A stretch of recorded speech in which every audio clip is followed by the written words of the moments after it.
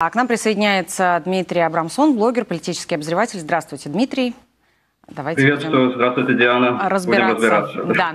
Если отключиться от противостояния республиканцев и демократов, а насколько вообще серьезно выглядят все обвинения в отношении Хантера Байдена? А, ну, вы знаете, я же не, не юрист тоже, то есть были опрошены разные эксперты, я слушал мнение э, очень уважаемых мной экспертов, которые говорят, что на основе тех обвинений, которые мы были представлены, наказание ну, достаточно стандартное, то есть их ничего не удивило. Конечно, во многом это решение прокурора, а, но э, прокурор не может, просто потому что это известный человек, прокурор не может э, преследовать какие-то более жесткие наказания или более, наоборот, легкие наказания. Он должен как бы выдвигать обвинения или предлагать сделки такие, которые бы он предложил какому-то другому э, обвиняемому. Ну, как вы сами сказали, его обвиняют в неуплате налогов, он, Хантер Байден, с тех пор эти налоги выплатил, признал себя виновным в нарушениях, и за это он получает условно два года, что, опять же, для юристов, с которыми, ну, которых я слушаю, с тем, кого, за кем я слежу, они говорят, что это абсолютно стандартный вариант. А с владением огнестрельного оружия, которое у него было две недели, э, когда он находился под влиянием наркотиков, и он обманул, э, на, когда заполнял формы при получении этого оружия, прокуратура договорилась с ним отложить это дело на два года. Если он за два года не нарушит никакие другие законы, то это дело просто исчезнет с его, э, ну, с, с его, как бы с его дела. То есть вот первое то, что он признался виновным, это с ним останется уже на всю жизнь. А если бы, например, Хантер Байден захотел довести дело до суда, тогда последствия могли бы быть более серьезными. Э, в нашей системе действительно, если э, обвиняемый соглашается признать себя виновным до суда, ему даются какие-то скидки, какие-то поблажки. А вообще откуда могло возникнуть вот это противоречие, которое много обсуждают в плане назначения Вайса на должность спецпрокурора, его запроса по этому поводу и слова Гарланда, который говорит, запроса не было, полномочий уже было достаточно.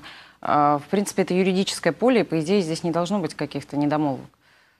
А, да, там очень интересная ситуация, потому что, опять же, э, это пытаются использовать эту проблему с Хантером Байденом, пытаются использовать в политических целях против президента, которого они никак иначе не могут, так сказать, под него подкопаться. Они пытаются этим воспользоваться. А, но там очень сложно этим воспользоваться, потому что расследование начал прокурор Дэвид Вайс из штата Делавер, которого назначил Трамп. А, может быть, наши зрители не знают, но когда новый президент приходит к власти, он меняет всех федеральных прокуроров. Это абсолютно стандартная ситуация, которая происходит от администрации к администрации. А, всех прокуроров поменяли, кроме двух. Дэвида Вайса, потому что он расследует сына президента, чтобы не было видимости, что Минюст или э, президент Байден как-то вмешивается в это расследование. Ему дали возможность довести это расследование до конца. А, и еще э, Джан Дурам, который был специальный прокурор для расследования ФБР по поводу того, что ФБР расследовало Трампа э, с вмешательством России в выборы. Вот этих двух людей оставили именно для того, чтобы не было даже видимости того, что генпрокурор Гарланд или президент вмешивается в эти расследования. Это назначенцы Трампа, которым дали закончить их работу. А, проблема сейчас э, э, появилась в том, что появились, появилось несколько свидетелей, которые утверждают, что у Вайса не было независимости, что он не сам принимал эти решения. А, но, с другой стороны, Гарланд это полностью отвергает и говорит, что у Вайса была полная автономия принятия этих решений. И сам Вайс в письме Конгрессу написал, что у него была полная автономия. А почему идет, идут эти разногласия, непонятно, то есть кто-то явно не прав, кто-то, может быть, что-то не понял, мы это вот на сегодняшний день не знаем. Но если бы Гарланд хотел вмешаться, у него было многократно множество возможностей это сделать, вместо того, чтобы оставлять, а, так сказать, назначенцев Трампа на своих должностях и дать им честно закончить их работу. Поэтому немножко там все это не сходится, вот эти показания с э, агентов э, налоговой. Почему вообще Белый дом на своих пресс-конференциях э, так старательно отказывается давать комментарии по этому делу, прям даже с эмоциями, можно сказать? А, ну, Хантер Байден – это частное лицо. Э, то есть мне, для меня было бы странно, если бы официальные представители нашего правительства э, начали бы давать комментарии по судебному процессу, к которому Белый дом не имеет никакого отношения. Но так там есть особенное уточнение, потому что если президент знал о его э, связях, бизнес-связях там, с Китаем и так далее, то там уже какая-то совсем другая история начинается.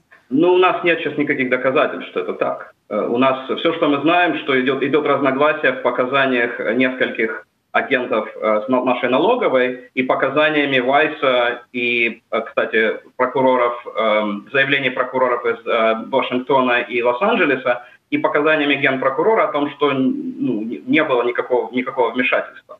А про там вообще разговора еще нет. То есть пока что никаких доказательств даже приблизительно, что Байден, даже, даже если предположить, что а, Минюс, что прокурор, генпрокурор Гарланд каким-то образом куда-то там где-то вмешался, все равно это не значит, что в этом участвовал президент Байден. Хотя даже этих доказательств у нас пока еще нет. А, поэтому я считаю, что ответ э, Белого дома о том, что мы не комментируем этот вопрос, потому что это частное лицо, которое расследование которого проходило независимым прокурором, я считаю, что Белому дому не, не, не стоит и не следует вмешиваться ни в, коем, ни в коей форме. А не кажется ли вам, что вообще столь э, мягкий э, результат в уголовном деле Байдена может создать поводы платить э, такие теории заговора? Например, да, в стане республиканцев, у которых Трамп, собственно, тоже фигурант уголовных дел. Конечно, проблема здесь в том, что если бы, допустим, независимо от того, какое бы решение Вайс не принял, или то, что мы имеем сейчас, или более жесткое, или еще хуже, для, ну, как бы с этой точки зрения, более мягкое, республиканцы все равно раскручивали бы эту проблему до невероятных масштабов, независимо ни от чего. Поэтому, когда я слушаю все эти разговоры о том, что каким-то образом президент Байден с этим связан, или что это мягкое обвинение, или что там что-то что было сделано некорректно или нечестно, я немножко, даже немножко, я очень скептически к этому отношусь, потому что я понимаю, что они об этом это говорили таки, с такими же интонациями и с такими же э, восклицательными знаками в любой, абсолютно в любой ситуации. А подкопаться под президента Байдена очень сложно, потому что он в политике с 70-х годов. Он, пока он был в Конгрессе, был один из самых бедных членов Конгресса. А, если бы можно было что-то найти за последние 50 лет, то уже давно бы это нашли. А, поэтому а, им очень сложно, им приходится цепляться за любые возможности, в данном случае проблемы с его сыном, чтобы каким-то образом дискредитировать самого президента. Причем интересно, что они сами себе противоречат. То они говорили, что президент Байден ничего не соображает 80 лет и вообще за него принимают решения все остальные. Сейчас вдруг история поменялась, что на самом деле президент Байден очень даже соображает и вмешивается во все расследования, в том числе расследования его сына Хантера Байдена и в расследование Трампа. То есть им как бы надо определиться, в какую сторону они хотят искажать ситуацию.